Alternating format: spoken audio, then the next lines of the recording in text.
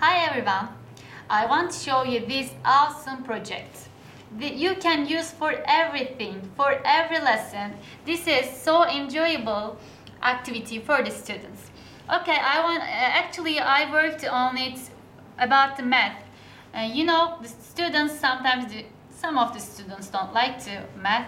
So you can use this organizer because maybe uh, first step uh, I'm sure the students will love the numbers by using this organizer.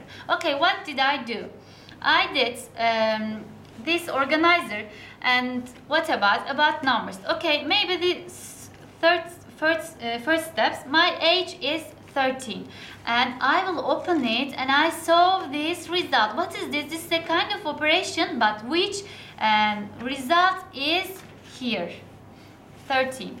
So what what did uh, I did mesela I have I have 24 teeth so I will open it. I saw a operation. What is this?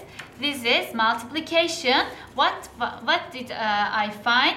I found end of the operation my feet number.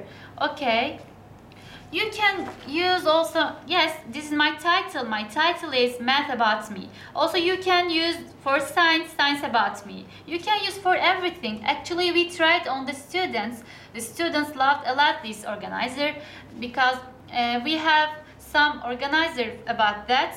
Uh, the students cut this paper. They stick on their uh, notebook.